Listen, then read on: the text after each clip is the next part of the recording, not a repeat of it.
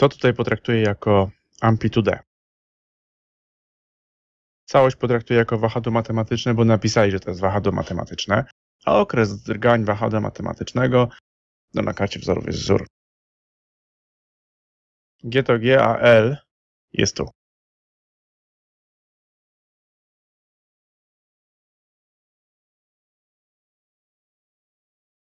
Ok, okres będę mógł zaznaczyć, potrzebuję jeszcze zaznaczyć prędkość maksymalną i wyliczę ją w najprostszy możliwy sposób.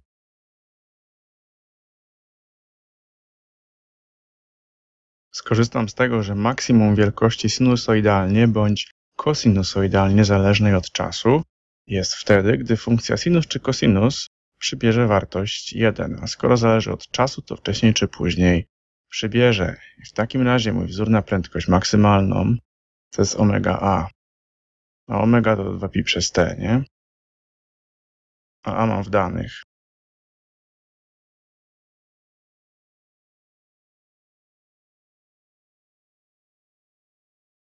No to nanoszę sobie okres, powiedzmy tu będą dwie sekundy, w połowie, nie chcę mi się kratek powiedzmy, że tu jest połowa.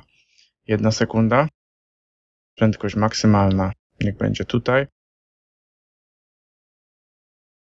Jeszcze jedna czwarta okresu i trzy czwarte.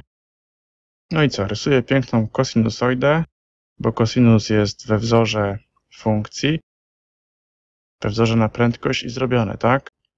Nie, kurwa, tak jest źle źle, bo tutaj pomiar czasu rozpoczyna się, gdy to jest w maksymalnym wychyleniu z położenia równowagi, czyli gdy ma zerową prędkość. W chwili t równe 0, prędkość powinna być 0. Czy to bardziej wygląda na funkcję sinus? Ale upewnijmy się.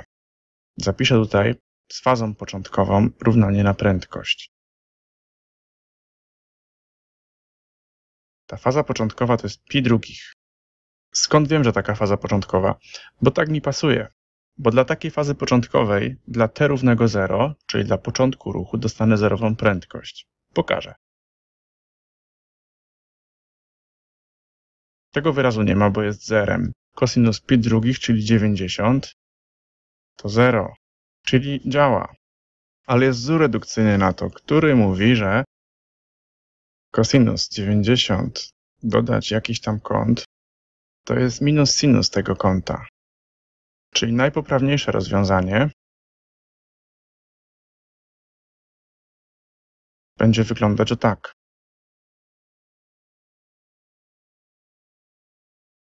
No, czyli rozwiązałem najpoprawniej jak się da. Czy mam komplet punktów? Niekoniecznie, bo w kluczu to wygląda tak.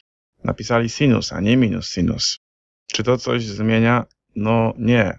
Po prostu ja sobie założyłem, że na początku było wychylone maksymalnie w prawo, a oni, że maksymalnie w lewo.